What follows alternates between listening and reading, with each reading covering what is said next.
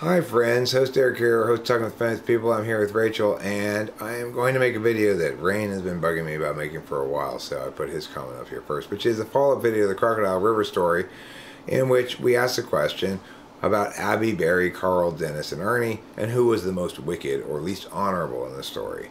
So, if you haven't seen the first part of this, go ahead and watch that video. It tells the story in more detail and explains the question some. This is going to be going over people's comment answers and explaining what the how they link to cognitive functions. I'm going to start by asking my INFJ wife, Rachel, to articulate her answer for the question who she thought was most culpable and why. So I think that Abby is the worst of them because she agrees to that she thinks that it's a good idea to sleep with someone in order to, to complete a task and um, I'm sorry, but I would consider it cheating if uh, that happened to me. Even if I really needed a ride on a boat? yes, obviously. Okay, fine. So, what we look at here is first Raen's explanation or answer. Rain says this, and this is what I would call your textbook TI line of thinking.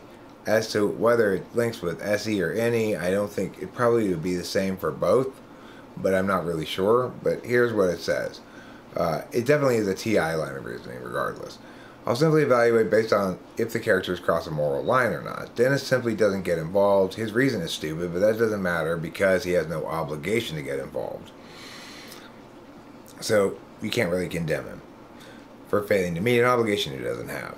Now, the thing is, this is a TI frame of reference because if you're an FI person, you recognize that, in fact, friendship or close relationship does confer upon you some sort of obligation. That if I need help and I call a stranger that I don't know, that I met one time, then there I have less reason to be offended if they don't respond and offer me help than if I call my wife or my mother or my child or something, right? People that we're very close to, we do have expectations we put on them, and that's reality. So that's an FI reality that this TI frame of reference is ignoring. Um, and doesn't judge Dennis for failing to meet his FI obligations because they can't be established as TI obligations. Carl simply offers a condition for Abby to use his service. It's a legitimate contract since Abby has no inherent right to be brought across the river and she has free choice to accept or reject Carl's offer that would allow her to accomplish this feat. Carl does nothing wrong. So in this frame of reference, there's no obligation of Carl to prevent any harm. Guess this is an anti-FI frame of reference. Carl doesn't need to consider whether he's going to ultimately like tempt Abby into behavior she otherwise wouldn't do and will regret because he's not responsible for Abby. Um, an FI frame of reference would say we all have some basic obligation to prevent harm when we can and to not take advantage or be exploitative towards people who are in a position of, of need. Now, granted, um, it does seem like Abby didn't try particularly hard to find ways across the river. Uh, maybe get a part-time job, earn some money, and and pay for her passage across the river or something. That'd be a TE critique of Abby, though. That a TE critique. That there are lots of other things she could have tried that she didn't. Is particularly um, an NE critique, I guess. Uh, this one says here, it establishes the relationship between Barry and Abby as basically contractual. It's a two-party link where any one party can reject the link and hence break the relationship. Barry could choose to break up with Abby for any reason he pleases um, no matter how reasonable or unreasonable. So because it's within his legitimate, it's legitimate his legitimate rights to break up with her. He did nothing wrong, and in fact, I think from most people's perspective, he did the right thing in breaking up with her because she cheated on him.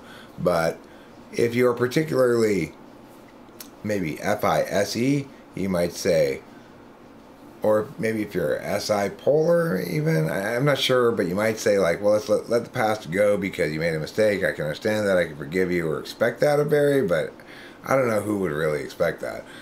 Um, and then here Abby chose for a non-essential reason uh, to cheat, and but that's not technically wicked or immoral in that she she owns her body and can do with it as she pleases, and and then he finishes. But cheating's complicated. Well, cheating's not complicated in most people's book at all. It's it's just unacceptable, and there aren't justifications like that that can be used to justify it, right? Well, I really needed a ride is a terrible justification for cheating. Yeah, it is. Oh, and then here, Ernie beats up Barry with no justification. So even if Barry's in the wrong, Ernie's actions are not warranted. He just physically assaults him, so he's the worst. Okay, so that's basically your TI response, the most logical or reasonable response, but not necessarily the best per se, right? So in this case, Pedro says Abby didn't consider other possibilities. This is an NE critique. Um, and she initiated the sequence of events by taking the action that started this cascade of problems. So she's to blame. Now that's an interesting reasoning, right? It's different than Rachel's. Uh, it's it's uh, it's it's more of an NE critique. This one says my least my first impression was the least honorable dude is Barry. Why hadn't he bothered to see her for quite a long time? Hmm. Barry's guilty of neglect. That that's a very I mean, I, I, that's that's very anti Ti frame of reference. Yes. Ernie was the most wrong. This is Octavia Silver's an ISFP. A person's reaction to the news their significant other is cheated is their own business, and he, especially the person harboring feelings for Abby, had never meddling in their affairs. So interestingly, she gives an FE reason, basically, that he's he's interfering with somebody else's business. Oliver Linehan, ISFJ, gives a TI reason. Ernie is worst. Carl's second worst because he's being exploitative. So this is TIFE. Abby, um, this is a NE critique saying he she could have done other things. Maybe you call it that. And then Barry and Dennis doesn't give reasons for. James Carolus says Carl because his actions were the most exploitative. Um, and uh, he disagrees with with the first person I read because he says it's actually Carl's behavior that launches the whole doorway for everything. And this is the reason why a lot of people do say Carl is they think that Carl is being exploitative, that um, he's the one that's doing the most icky kind of awfulness in some way. And so that makes him the worst. Like Z says here, Carl's exploitation makes me feel the worst. Swash says, I think Carl's deal initiated the whole thing. Of course, really, it was Abby's attempt to get across the river without any money that initiated the whole thing, but whatever. Um, Bub goes with the TI response for Ernie and second for Abby. And I think that's that's kind of to be expected for mm-hmm. this because at least we you can understand that Abby um, violated some sort of contractual expectation, right? Treeman Forrest says Abby's the most guilty, followed by Ernie. Carl made an indecent proposal, but it was only a proposal, meaning he shouldn't be blamed much. Because it was her decision to take the action ultimately, not his.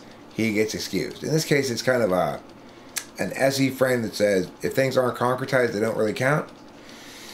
Um, and Tiernan Wollaston gives what I would consider to be the most FV possible choice, which is Dennis. The Dennis is a bad friend, and so he's the least honorable.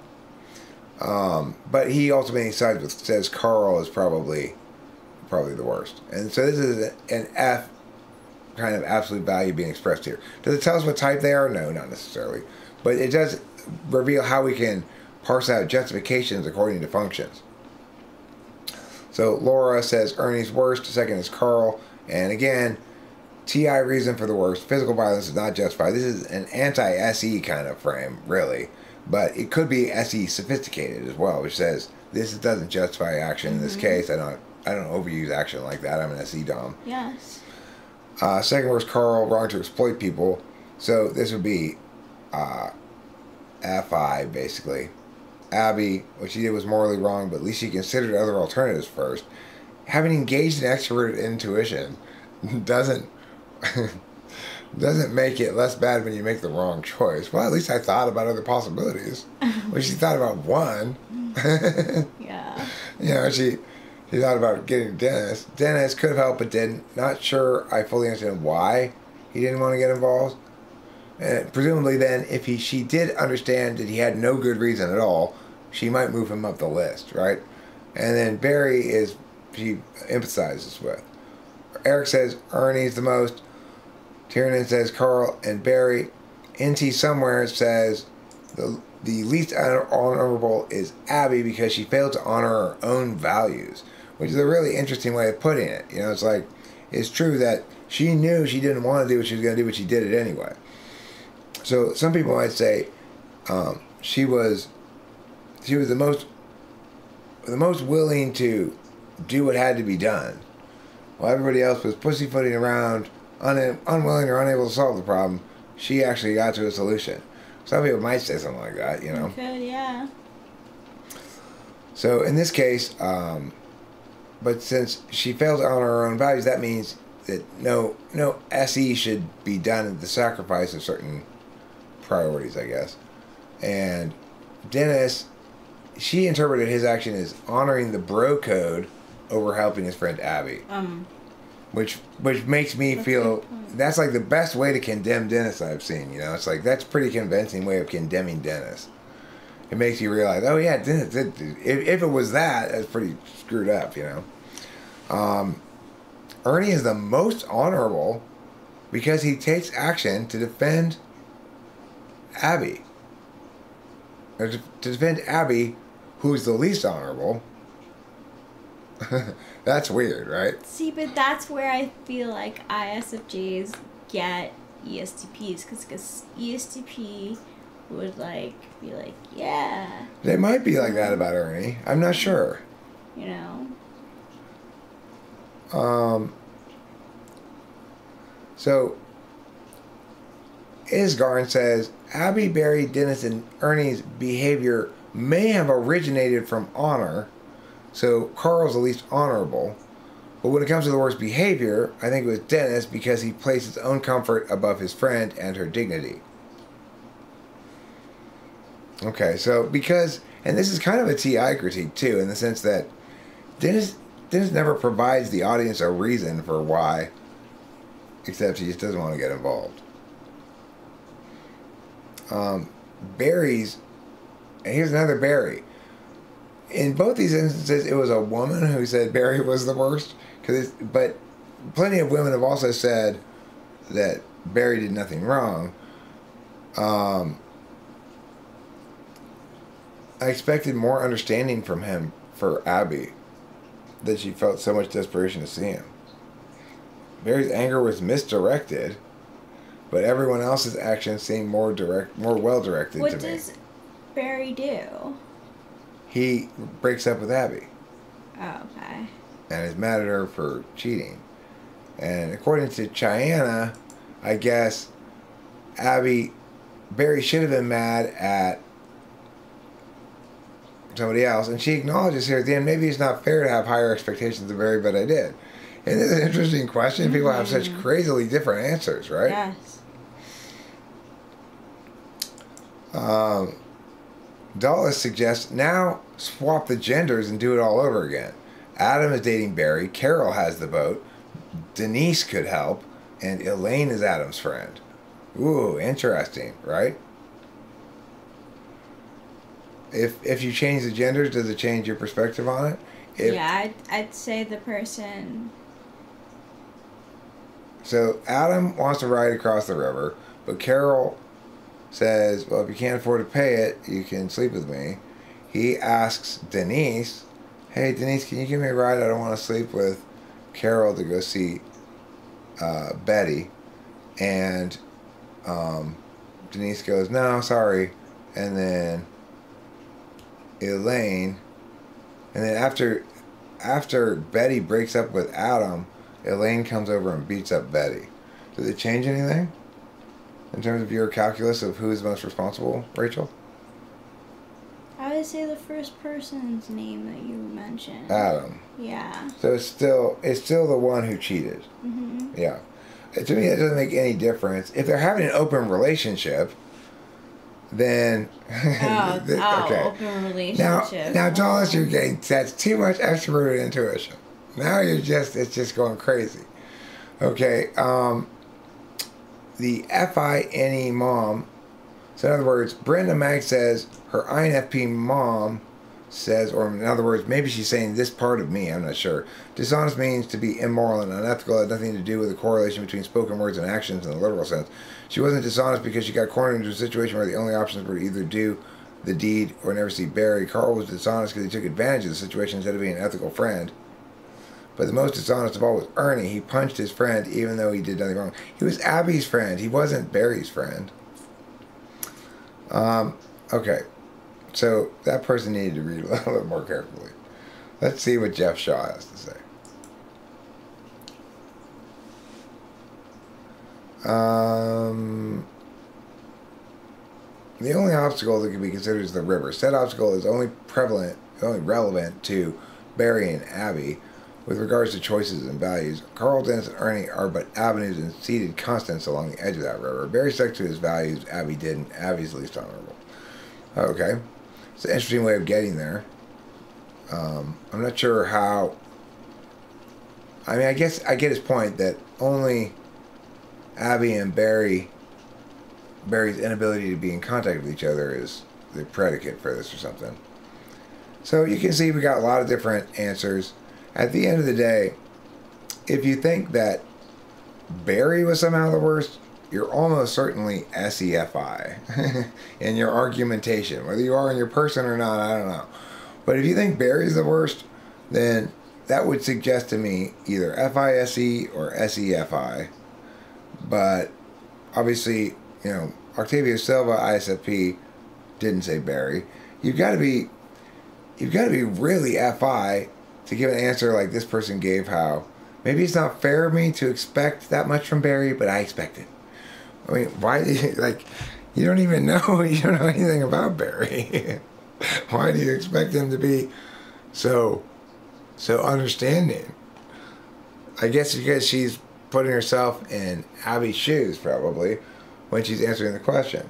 If she were Abby, the only way she would ever do that is she was really cornered and had no other choices. She, that must be how come Abby did it. It's not using expert intuition consciously to say, maybe she could have tried this or this or this or this or that, right? So interesting, interesting question, interesting responses, lots of comments. It was, it was really good to see, and uh, makes me want to do another question pretty soon so I can get a lot of comments again. So there you go, Raen. So you can stop bugging me about making this video. It's done. Okay? Hope you enjoyed it. Goodbye. Thank you.